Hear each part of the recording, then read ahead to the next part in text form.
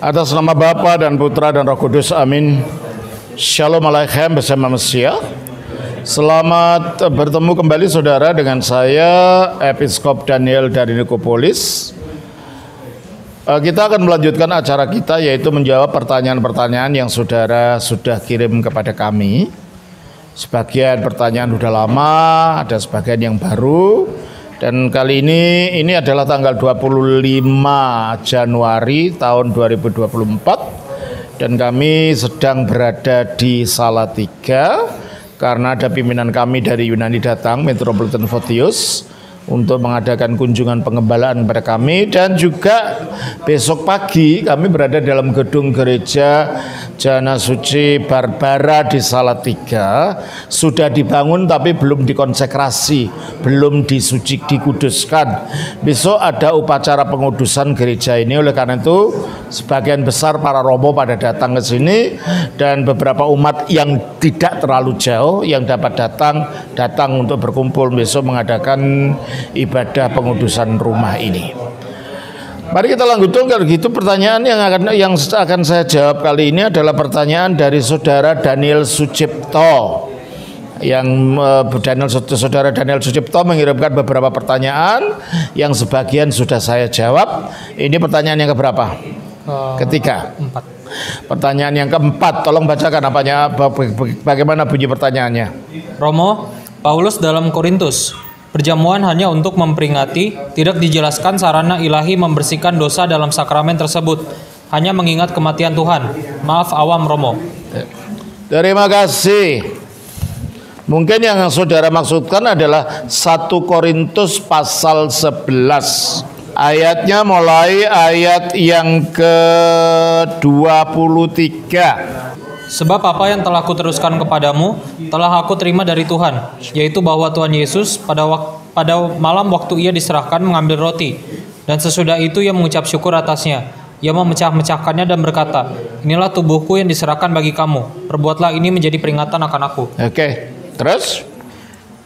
Demikian juga ia mengambil cawan sesudah makan lalu berkata, Cawan ini adalah perjanjian baru yang dimeteraikan oleh darahku Perbuatlah ini setiap kali kamu meminumnya, menjadi peringatan akan aku. Oke. Okay.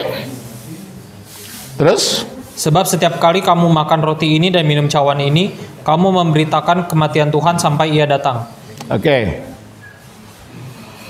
Mulai sampai ayat yang ke-29. Jadi barang siapa dengan cara yang tidak layak makan roti atau minum cawan Tuhan, ia berdosa terhadap tubuh dan darah Tuhan. Karena itu hendaklah tiap-tiap orang menguji dirinya sendiri dan baru sesudah itu ia makan roti dan minum dari cawan itu. Karena barang siapa makan dan minum tanpa mengakui tubuh Tuhan, ia mendatangkan hukuman atas dirinya. Mm -hmm. Terus oh, cukup. Jadi yang saudara Daniel uh, tanyakan adalah adalah perkataan dari Yesus. Ya. Inilah tubuhku yang diserahkan bagi kamu, perbuatlah ini menjadi peringatan akan aku. Juga di dalam ayat yang ke-25, demikian juga ia mengambil cawan sudah makan. Ia lalu berkata, cawan ini adalah perjanjian baru yang dimeteraikan oleh darahku, perbuatlah ini setiap kali meminumnya menjadi peringatan akan aku. Di dalam ayat ini yang dikutip oleh Paulus ini memang tidak ada bagi pengampunan dosa.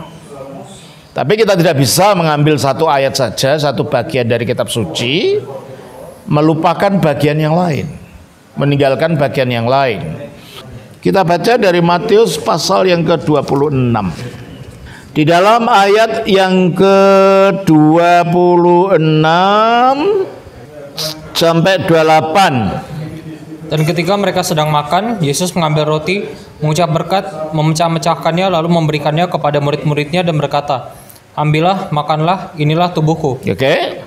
Sesudah itu ia mengambil cawan, mengucap syukur, lalu memberikannya kepada mereka dan berkata, Minumlah kamu semua dari cawan ini, sebab sebab inilah darahku, darah perjanjian yang ditumpahkan bagi banyak orang untuk pengampunan dosa. Inilah darahku, darah perjanjian yang ditumpahkan bagi banyak orang bagi pengampunan dosa-dosa. Jadi jelas Yesus mengatakan bahwa darah yang dinyatakan dalam sakramen dalam bentuk anggur itu adalah darah yang sama yang dicurahkan untuk pengampunan dosa-dosa. Dan ketika Paulus mengatakan di dalam 1 Korintus pasal yang ke-11 itu, memang dia tidak mengucapkan kata-kata itu. Karena yang mau ditekankan lain. Yang ditekankan adalah tujuan mengambil itu. Tujuan umat mengambil bagian di dalam roti dan anggur itu. Ialah untuk memperingati. Nah, tapi kata memperingati ini dalam bahasa aslinya adalah anamnesis. Anamnesis itu memperingati dengan menghadirkan yang diperingati. Jadi anamnesis bukannya kenang-kenangan masa lalu pernah terjadi, sekarang aku kenang bukan itu artinya. Coba saya baca di dalam uh, di dalam uh, eh, 1 Korintus pasal yang ke-11 dalam bahasa aslinya ya supaya kelihatan tuh. Ke Evkaristisas Makanya namanya eskare Evkaristi, karena Evkaristisas dari kata mengucapkan su syukur ya. Ke Evkaristisas eklasen dan memecah-mecahkan keipen dan berkata dan dia berkata tutomu estintosoma ini adalah tubuhku. To iperimon bagi yang yang bagi engkau tutopite istin emon anamnisin lakukan ini bagi anamnisisku jadi kenangan itu yang digunakan bahasa Yunani adalah kata anamnesis. Anamnesis itu bukan kenang-kenangan yang untuk hal-hal yang pernah terjadi tapi sekarang sudah tidak ada. Anamnesis itu adalah mengenang mengenang peristiwa itu dengan menghadirkan sekalian sehingga peristiwa itu hadir di depan kita melalui kuasa Roh Kudus. Sehingga ketika kita mengambil roti dan anggur, yang kita ambil bukan hanya benda yang tidak hadir, benda yang bersifat memori, bukan. Tapi benda yang memang punya kuasa yang menghadirkan hal yang sama yang pernah Yesus lakukan di atas salib, yaitu tubuhnya dan darahnya. Itu dihadirkan kembali setiap kali itu dipersembahkan di atas altar, itu dihadirkan korban yang sama sekali dan untuk selamanya ini ini bukan korban yang berulang-ulang ya dah tidak ada korban Kristus yang berulang-ulang cuma sekali aja. Sekali dan selamanya tetapi selalu dihadirkan di dalam perayaan ekaristi itu. Selalu dihadirkan ketika kita melakukan anamnesis mengingat dan menghadir menghadirkan. Sehingga dengan demikian buktinya apa kalau ini hanya roti biasa seperti benda kenang-kenangan, ada kuasanya nggak itu? Kalau hanya benda kenang-kenangan saja, nggak ada. Tapi mari kita lihat apa yang terjadi yang dikatakan dalam satu Korintus pasal yang ke-11 tadi, ayatnya yang ke-26. Sebab setiap kali kamu makan roti ini dan minum cawan ini, kamu memberitakan kematian Tuhan. Nah, tiap kali kamu makan roti ini dan minum camar ini, kamu memberitakan kematian Tuhan. Berarti Ekaristi itu adalah bentuk daripada pemberitaan tentang Injil. Setiap kali itu dirayakan, kematian Tuhan diberita, diberitakan. Terus, teruskan. Sampai ia datang. Sampai dia datang. Jadi sampai akhir zaman ini tetap berlaku. Terus?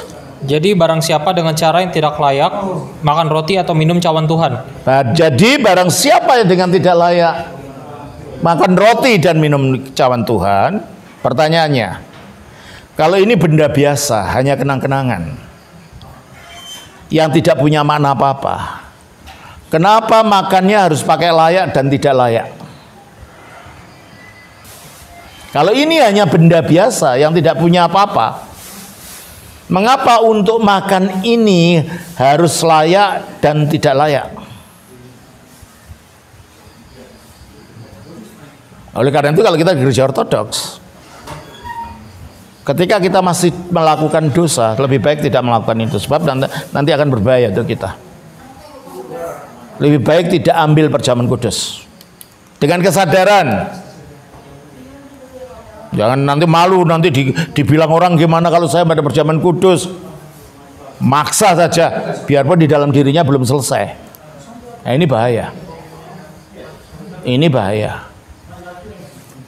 Oleh karena itu kita paling tidak kalau kita ingin ambil perjamuan kudus dengan teratur paling tidak setiap Rabu dan Jumat kita puasa. Ya kan? Dan kalau suami istri sebelum ambil perjamuan kudas esok paginya, malamnya tidak ada hubungan badan dengan istrinya. Eh, bukan hanya itu. Orang yang jomblo pun jangan mengalukan zina, zina apa saja. Sebab kalau itu dilakukan nanti ada bahaya untuk kalian sendiri. Nah, kalau gitu kalau pelanggarannya saja membawa bahaya, berarti pengambilannya ada sesuatu yang terjadi di situ. Ya dikatakan oleh Yesus pengampunan do, dosa tadi di dalam Matius pasal 26.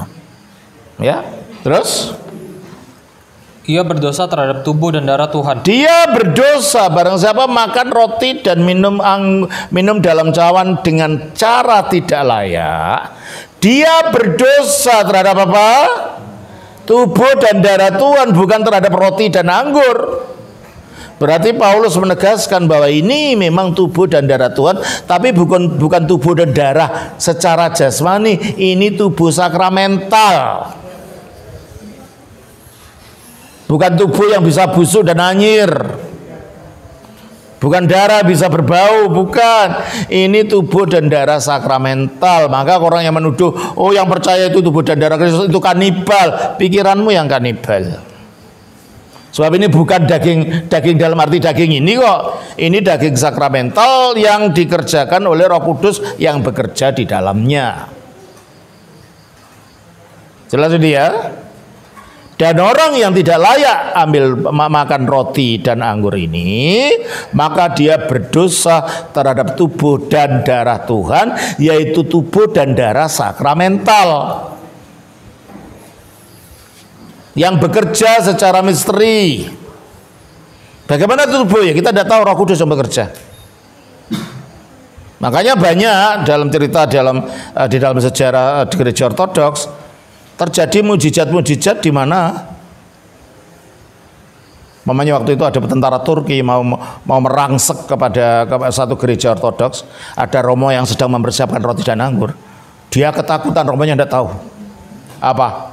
Karena dia melihat bayi di situ. Lari dia orang itu. Jadi di atas cawan itu dia melihat bayi, bukan roti. Ketakutan dan banyak cerita seperti itu. Kalau orang tidak percaya itu urusanmu. Tapi Alkitab mengatakan barang siapa makan roti dan minum dari cawan dengan cara yang tidak layak, dia berdosa terhadap tubuh dan darah Tuhan. Berarti kalau gitu Paulus percaya ini tubuh dan darah Tuhan meskipun dia tidak mengajar bahwa itu tubuh secara fisik, tetapi adalah tubuh sakramental dan efeknya apa? Ayat 29. Eh 28. Man, tadi ayat berapa? 27 atau 28? 28. Karena itu hendaklah tiap-tiap orang menguji dirinya sendiri. Nah, karena itu hendaklah tiap-tiap orang menguji dirinya sendiri. Bagaimana kalau itu hanya benda uh, kenang-kenangan saja kok pakai menguji diri? Itu kan seperti makan tempe goreng aja. Ya kan? Nah, kalau kita makan tempe goreng sama minum minum sama minum kuahnya sayur asem pakai menguji diri? Enggak. Nah, ini diberitakan oleh Rasul Paulus untuk menguji diri, ya, ya. karena garis karena ini bukan roti biasa. Ini roti yang menghadirkan tubuh dan darah yang sama yang membawa pengampunan dosa bagi manu, manusia. Efesus 1 ayat 7. Sebab di dalam dia dan oleh darahnya kita beroleh penebusan. Nah, Yaitu yaitu pengampunan dosa. di dalam dia dan oleh darahnya kita beroleh penebusan yaitu pengampunan do- dosa. Dan bagaimana kita menerima darah itu? Melalui perjamuan. 1 Korintus pasal 10 ayat 16. Bukankah cawan pengucapan syukur Bukankah cawan pengucapan syukur yang atasnya kita ucapkan syukur adalah persekutuan dengan darah Kristus? persekutuan dengan darah Kristus. Ini persekutuan menyatu manunggal dengan darah Kristus itu. Terus Bukankah roti yang kita pecah-pecahkan adalah persekutuan dengan tubuh Kristus? darah roti yang kita pecahkan malam persekutuan dengan darah Kristus, dengan tubuh Kristus, tubuh Kristus. Jadi melalui roti dan anggur dalam perjamuan inilah kita menyatu dengan tubuh dan darah Kristus. Kristus ada dalam kita, kita dalam Kristus. Yohanes 6 ayat 56. Barang siapa makan dagingku dan minum darahku, ia tinggal di dalam aku dan aku Iya, dalam- barang siapa yang minum dagingku dan minum darahku, dia tinggal di dalam aku, dan aku di dalam dia. aku di dalam dia. Bagaimana tidak ada pengampunan dosa kalau Kristus yang diam di dalam kita?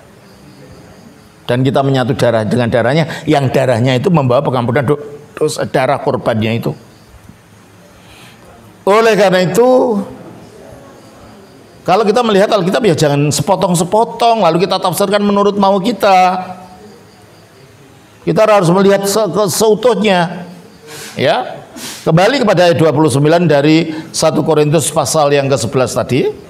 Karena barang siapa makan dan minum tanpa mengakui tubuh Tuhan, Nah, kalau kita manam dan minum tidak mengaku itu tubuh Tuhan, itu roti biasa. Apa yang terjadi?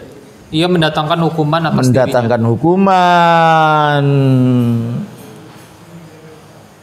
Kalau penyangkalannya mendatangkan hukuman, penerimaannya berarti tentunya mendapatkan pengampu, pengampunan biarpun tidak dikatakan begitu. Dan efeknya apa? Teruskan. Sebab itu banyak di antara kamu yang lemah dan sakit. Pada zaman itu banyak yang lemah dan sakit. Karena mengambil perjamuan tanpa persiapan diri dengan tidak layak dan bahkan Dan tidak sedikit yang meninggal. tidak sedikit yang meninggal. Jadi dari efeknya kita melihat bahwa roti ini bukan roti biasa. Anggur ini bukan anggur, anggur biasa. Biarpun kelihatannya masih roti, masih anggur. Tetapi itu membawa efek yang sangat membahayakan. Di zaman itu ketika para rasul masih ada ada kejadian-kejadian seperti ini. Oke? Jadi ke saudara Daniel, kita harus melihatnya secara utuh bukan hanya satu ayat itu aja lalu ditafsirkan menurut mau kita. Apalagi kata mengingat, mengaku itu bahasa aslinya adalah anamnesis, mengingat dengan menghadirkan apa yang di, diingat itu. Oke? Saya kira itu yang eh, ya bisa saya berikan.